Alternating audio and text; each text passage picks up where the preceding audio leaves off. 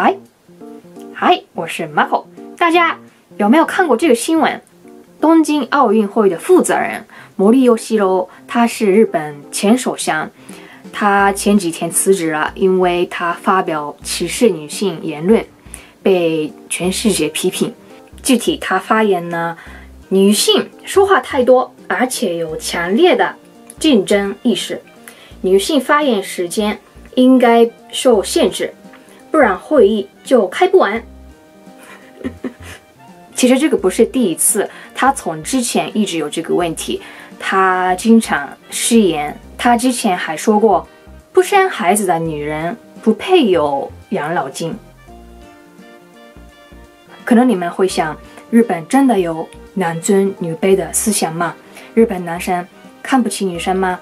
啊，我今天跟你们分享一下日本的性别差距的情况，以及我个人的想法。首先，日本是很久以前，Edo 时代，就是江户时代的时候，有严重的男尊女卑思想。因为当时是日本武士的地位很高，而且也受到不少儒教的影响。这个时代的话，女生的地位是非常低的。后来明治时代来了以后，也是还是有江户时代的思想和习惯吧。呃，当时女生独立生活是非常困难的。后来越来越会有变化。一九三零年，在日本有第一个女医生；一九四零年有第一个女律师。那个奥运会的莫里桑，她是一九三七年出生的啊，所以当时的话还是很少女生有社会地位的。然后一九四七年，政府终于发布了日本国宪法，保障男女平等。すべて国民は法の下に平等であって、人種、信条、性別、社会的身分、または門地により、政治的、経済的、または社会的関係において差別されない。说的简单，做的很难，是不是？然后，一九八五年制定男女雇用機会均等法，使劳动者不受性别歧视，并尊重女性劳动者。一九九九年制定。男女共同参画社会基本法，目的是男女作为社会的平等一员，应确保按自己的意愿参加各个领域的活动的机会。所以在日本法律上是男女平等，就是这几十年来慢慢的改变了。不过像这次奥运会的负责人，他的想法的话比较落后哦，啊，这样的人也有的啊。这个魔力三呢，他年纪很大。我觉得八十多岁的话很难改变自己的想法，因为八十多年他是一直有这个想法，是不是？所以真的很难改变，除非他自己真的愿意改变，是不是？其实人呢，脑子里怎么想都是自己的自由，是不是？他觉得女生话多，有可能也是个事实哦。女生确实爱说话，是不是？有可能也有道理。不过这样说出来的话呢，肯定很多人会认为这个是性别歧视，所以正常的人会看场合，这个话该不该说，特别是这样有影响力的人，我都搞不懂为什么他老是失言，他可能真的人品有点问题，他当时也完全没有反省，态度很差，所以我个人很高兴他辞职了。那么现在在日本的社会中有性别歧视吗？有一个二零二零年的调查，我给你们看一下。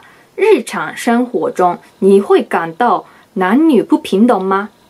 然后百分之七十六的女生回答是的，百分之六十九的男生回答是的。所以日本人百分之七十以上的人都觉得男女不平等。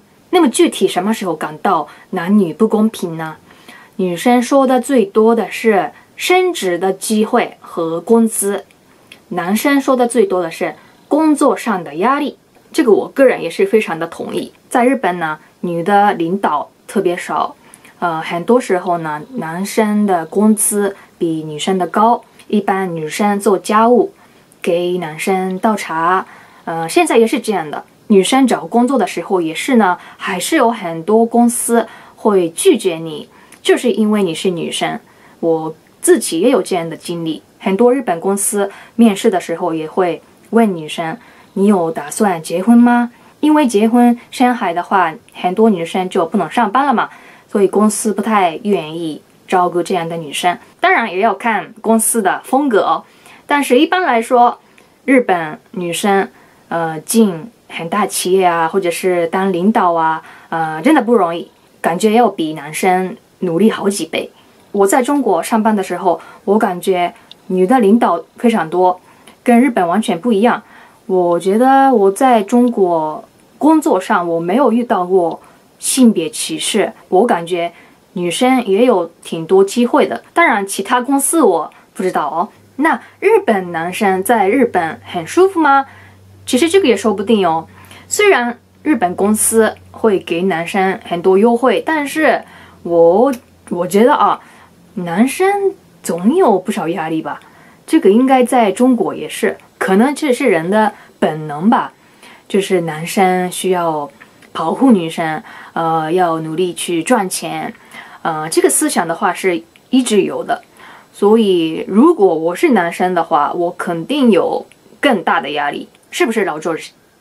那当然的了，那当然的了。嗯，我是男汉子啊，我要找个女朋友，然后我来保护她呀。所以，我个人觉得，其实男生女生都有好处和坏处的。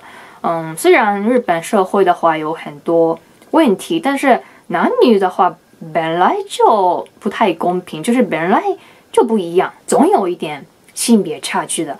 不过，歧视别人的话是两回事。在日本确实有很多大男子主义的男生，可能也有地区区别。我妈妈说，前几天她在医院看到了几个夫妻。嗯，老公对老婆特别凶的，我觉得这样的人的话呢，人品就有问题。最重要的还是互相尊重吧。你们知道全球性别差距报告吗？这是一份展示男女间在经济地位、学习机会、政治参与及卫生福利四个范畴中的差距的报告。日本是全世界当中一百二十一名。说明性别差距也挺大的。那么你们知道中国是第几名吗？中国是一百零六名，比日本好一点，但是好像中国的男女差距也不小哦。还有可能你们有点好奇，日本女生是结婚了以后就不上班了吗？现在呢，日本的大概三分之一的已婚女生是家庭主妇。就是在家里做家务、看孩子，然后三分之二的女生还是继续上班的。所以现在的话比以前不太一样，还是很多女生上班的。OK，总的来说呢，日本是法律上是男女平等的，但是工作环境的话呢，现在也还是女生的地位是比较低。不过男生。也有很大的压力。在日本做家务的话，一般女生做的比较多。呃，在家庭里的男女地位的话，我觉得每个家庭不一样的。我觉得最重要的还是互相尊重吧。好，你们觉得怎么样？如果有什么事想问日本人，可以在评论里面问我。OK，那么下次见哦，拜拜，拜拜，拜拜。就就。